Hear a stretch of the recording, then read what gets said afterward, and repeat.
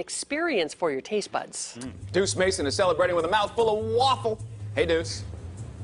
Hey, good morning, guys. You know what I love about this place? It's like a play-by-play cam. You can see the guys working on the plates on the screen. How cool is that? Yeah. That's awesome. Hey, let me see you in action. Oh, yeah, look at the big piece of bacon. Oh, look at him go in there. He's slicing that bad boy. Oh, there's nothing like bacon, guys. All right, seriously, National Waffle Day is awesome. Uh, one reason we can get to pancakes suck, right, Jeff?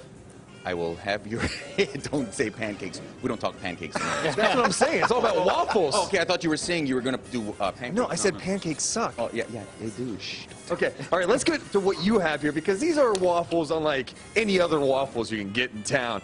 Let's uh, start with this one right Well, here. Chef Mike's created. This is our version of an eggs Benedict. It's our Benedict Arnold with obviously uh, poached eggs, and that is true Canadian bacon. You know, we've all grown up eating the um, fast food round ham that they call Canadian bacon. That's just round ham, folks. Just to give you an idea. That is a peameal bacon with a cornmeal crust grilled on a flat top. It's basically pork loin. Oh my goodness, this one looks sweet. That's our open-faced apple pie. That's our Johnny Appleseed. All these creations come out from the uh, diabolical mind of Chef Mike Donoho, who's there in the kitchen. You saw his blue gloves working.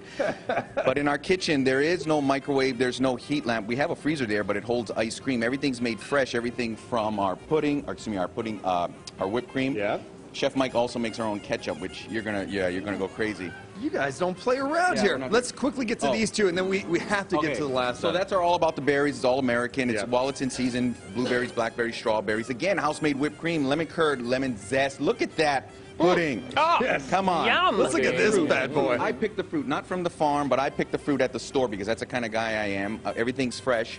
This is our lean on me for those looking to uh, better their their their dietary um, situation. Sure, sure, sure. Turkey sausage, egg whites, arugula. We're not playing. Okay, this Bloody Mary is ridiculous. Look at that hunk of bacon. Are you serious with this? That's pork belly. That's oh, that's pork Yeah, belly? But, but what it gets is these are vegetarian pigs. So this is your full day's supply of vegetables, your vitamins and minerals from vegetables right here. So my, my wife my wife Lydia made this. Chef Mike's this is Chef Mike's creation. We were drinking one night. He said, You're not gonna do this and this is what ended up. We've got the waffle experience uh, BLT slash Bloody Mary. It's So, beautiful. yeah, we're not playing. Somebody was Okay. drinking when they came up with You it. I have to celebrate National Waffle Day. Here, the waffle experience coming up next hour. There's been some talk that there's some people here, get this, who believe they could beat me in a waffle eating contest. I